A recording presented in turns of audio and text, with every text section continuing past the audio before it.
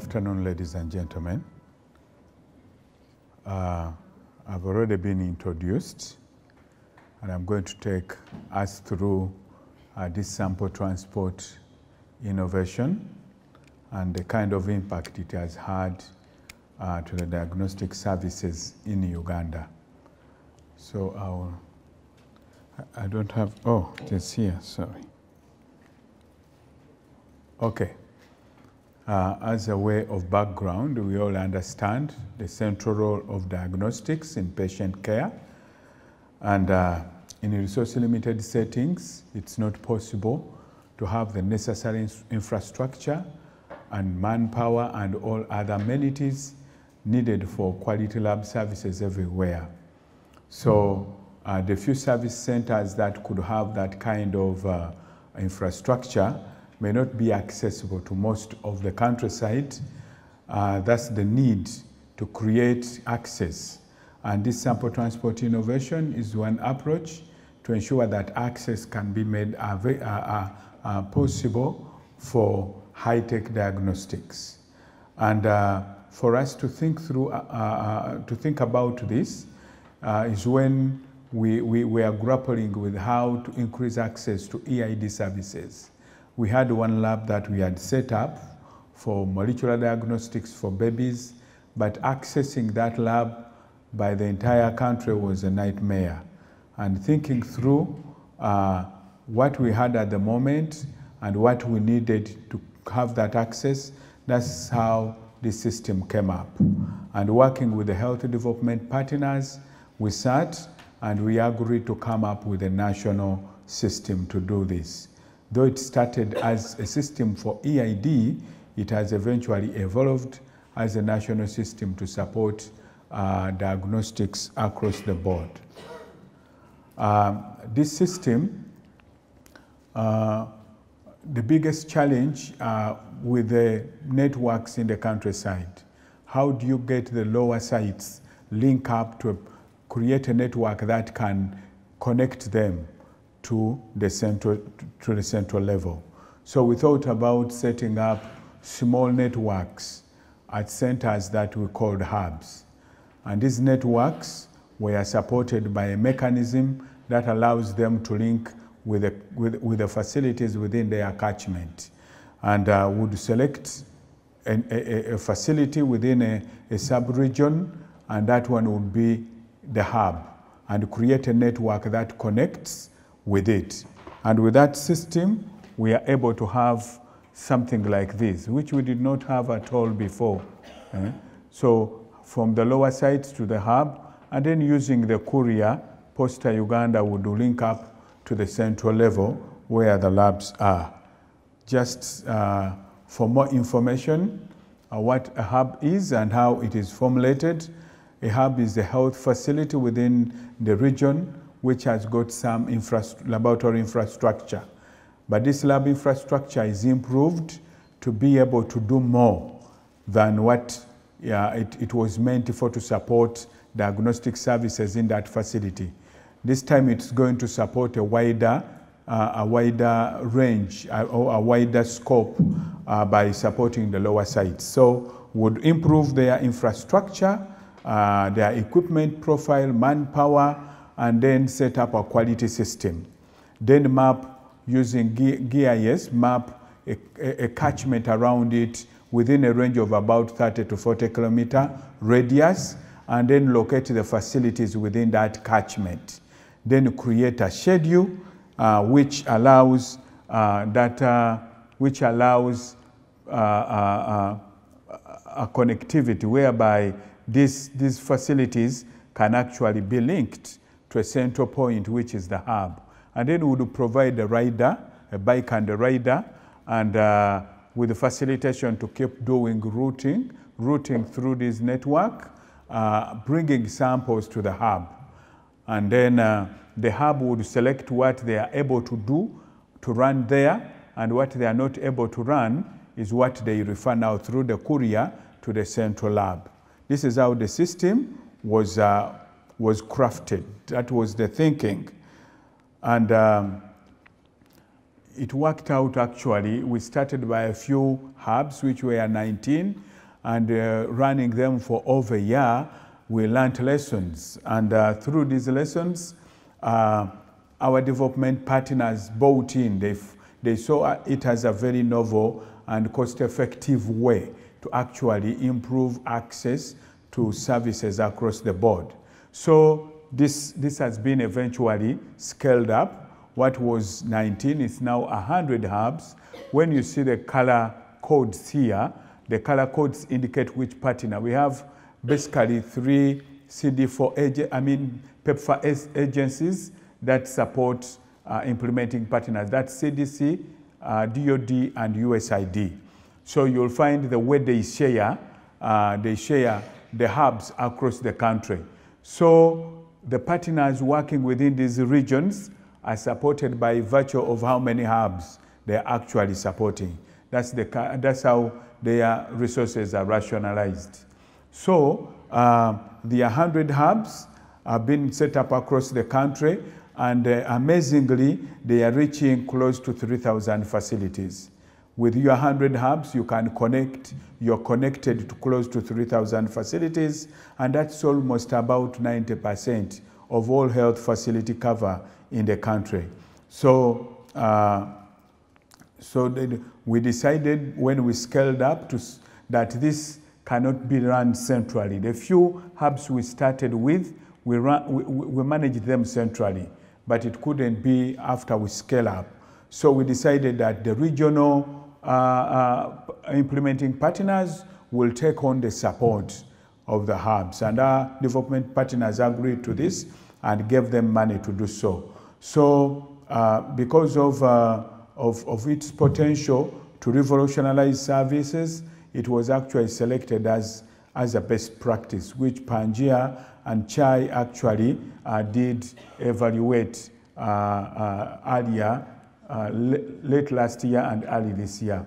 So with the improved infrastructure, equipment, personnel, hubs are able uh, to offer services that are not available to most of the, the lower uh, sites like CD4, CBC, chemistry, GeneXpert, sickle cell, hepatitis, just name the list keeps growing because already the infrastructure is there. It is just easy to actually keep uploading things on it.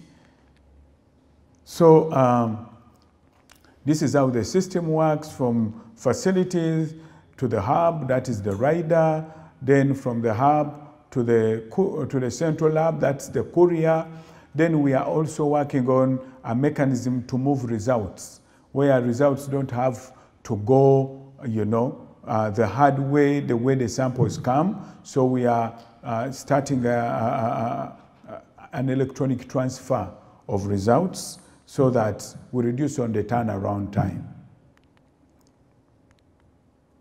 So in terms of impact, how much impact has this had? When you look at this particular hub, when you look at this particular, this is one hub. Before this system was up, it was only providing services to its own patients in the hospital where it is located. But after we actually set up this, uh, many other services started rolling for the lower sites. And over time, uh, uh, this particular site has offered so much for the lower, the lower facilities. Whatever you see here comes from the lower facilities, not from what uh, that hospital uh, patients, uh, patient services uh, that they traditionally used to offer. So the rider picks these samples and then drops them at the facility and drops uh, results whenever they are moving back. So just a case, just to show how powerful this can be, this one center is supporting like 30 facilities. And these 30 facilities have been able to actually access these services that they were not able to have before. And this is how it works. In terms of turnaround time, when we set it up, we, we actually, for our EID services, turnaround time was over a month, close to, to two months, but it actually went down to two weeks, sorry. It actually went down, it went down to two weeks because of the ease of moving samples but also the efficiency that we created by having one central lab. Before we had eight labs, but we had a lab turnaround time of 25 days because of the so many dynamics of, of sample volumes, batching, and uh, the, the, the, the, the, the, the issues around optimizing lab services. But when we reduced, we put it in one lab, actually the lab turnaround time reduced to two days from 25 days. And with the sample transport system, things actually improved further in terms of turnaround time. So let us look at how this uh, system has been able to actually uh, increase uh, uh um, uh, access nationally. That was the one, the, the, the, previous slide was showing access at this one particular hub, supporting the 30 facilities, but now this is at the national level. So high caliber lab services, um, which cannot be attained at the lower levels are at national reference labs. For instance, services for viral load, for, for hepatitis, um, uh, services for viral load, for EID, for some of hemorrhagic fevers and, uh, and, and outbreak potential uh, diseases cannot be all over the countryside. So they are located in reference labs within, within Kampala largely. But uh, these ones have been accessed through the sample transport system. So uh, using the courier, from the hub using the courier, uh, the samples move to the, to, to, to the center and the system supports a wide range of these samples. So when you look at this table here, uh, this is just uh, uh, last year actually from, uh, sorry, from October last year to September this year, this is what moved through. EID over 100,000, viral load close to 600,000 samples, sickle cell this much, pathology, uh, it was a nightmare before actually moving pathology samples. Uh, pathologists had trouble. They, they, they, they do a surgery, take off a biopsy, but the biopsy can keep three, four, five months before they even know how it can go to one lab within, within, within uh, our national teaching hospital for actual diagnosis. But they are now able to move samples routinely. Uh, these these uh, surveillance samples, outbreak samples, we are able to actually manage outbreaks efficiently because of the sample transport system. So down the road, you see how much has been uh, supported through this system. This system is not only supporting the movement of samples, but we are also managing the logistics, logistics that go with collection of these samples. Also, these logistics move through this system, and we are, eh, we are efficiently managing that no site needs, for instance, sample collection materials and they don't have them. Just because we have connectivity, we are connected to the sites on an ongoing basis, even the logistics are easily moved through this system. So 100% of EID sickle cell uh, materials are moved through this system to over 2,500 facilities. Distribution of uh, viral load sample collection materials also the same way, and uh, quality control panels for, for quality control, especially for HIV, rapid testing, and a couple of other quality control programs use the same system to move their materials. So through this evaluation that was done, it was costed, and the costing actually showed that uh, it costs about uh, uh, 1.5 dollar. They only costed for EID and viral load. And at a time where the samples were still few, we, we had not scaled up widely. But uh, uh, uh, they also, they also extrapolated it if we scaled up, for instance, viral load, and it comes to less than a dollar, even after putting in all the other amenities to make the services more robust, it comes to less than a dollar. So it is not very expensive, but very robust that it can be able to support so much. So this costing was only for EID and viral load. just imagine all the other services that are moved, all the other samples that are moved. Those are not costed. But if all that is costed, it becomes much, much cheaper. So the challenges, uh, suboptimal financial uh, support mechanisms, especially by implementing partners. Some of them, uh, they have a very bureaucratic system of accessing. If a bike is down, it needs some procurement process to fix, which can take longer than necessary. Lack of tracking, we need a tracking mechanism where we can track the samples moving through this system. And the courier is not, sustain, uh, is not suitable. The courier we are using is not suitable for medical transport. Uh, poor prioritization by IP, some of them don't take it as a cardinal service. They don't pay enough, enough attention to make sure things are running. A lack of close monitoring. The partners need to be monitored to make sure things are happening as expected. And then uh, we are doing one visit at the moment because we have one bike per hub uh, per week, which is not as optimal.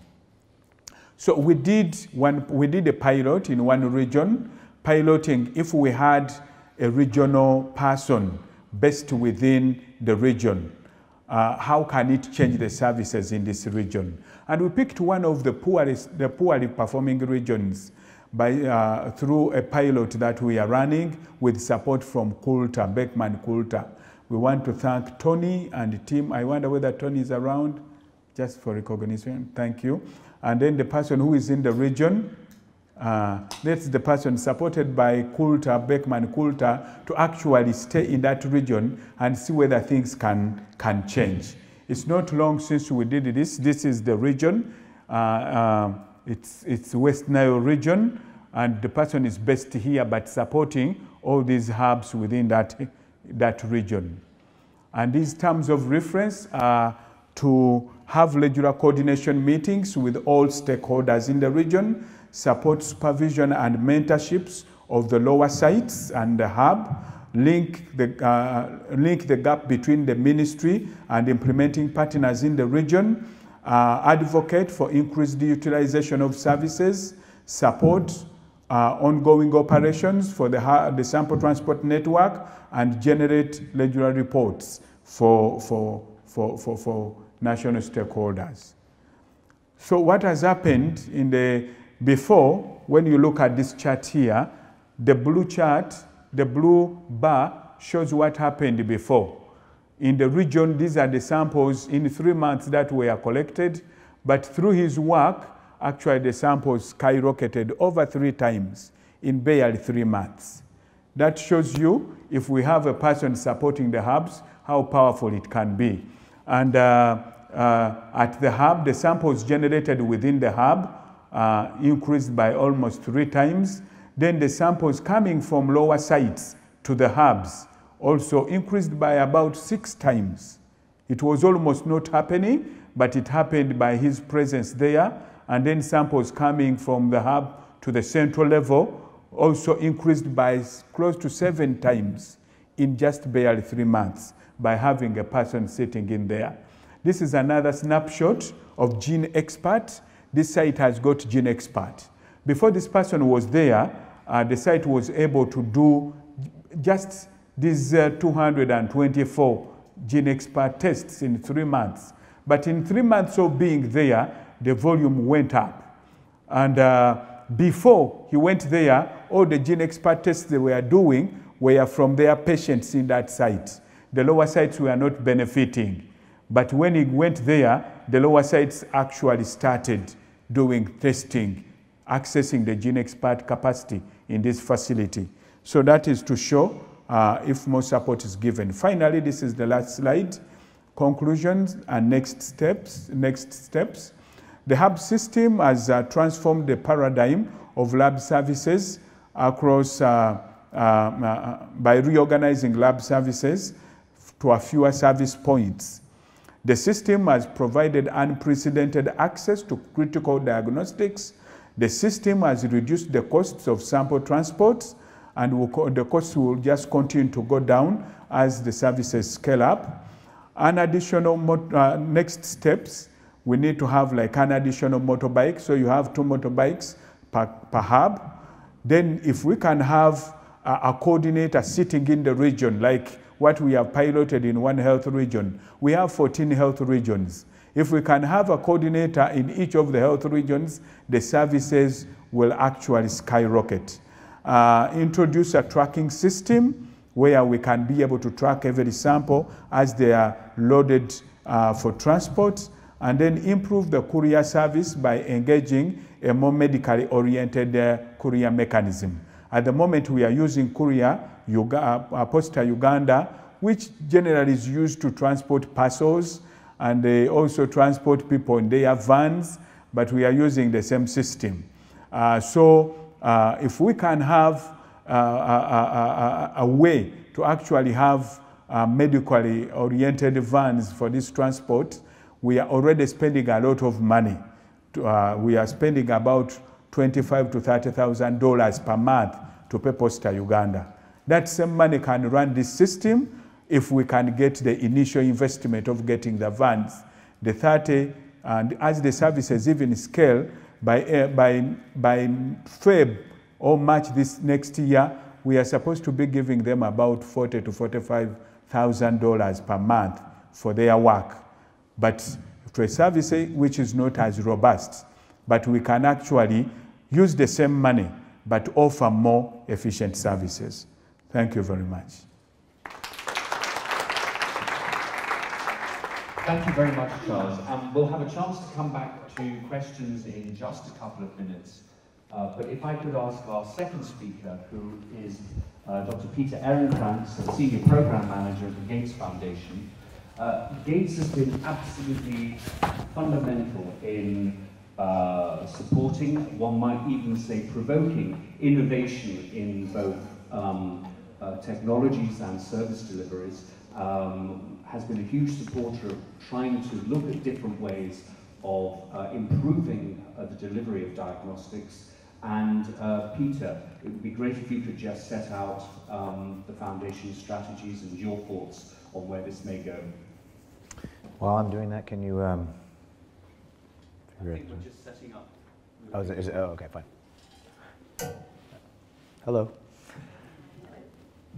I'm going to give a very, uh, hopefully just a five minute presentation, uh, just to follow on Charles's uh, very impressive description of the, of the specimen hub transportation system in Uganda. And my task is to talk about can we figure out a way to take these lessons learned and, and disseminate them and help implement them um, beyond what we're just the discussion. I think oftentimes we come to conferences, we learn all sorts of great ideas, and then sometimes we go home with the intention of trying to figure out how to do it, and immediately we are stuck with our volume of emails and other uh, tasks that we hit. So here we go.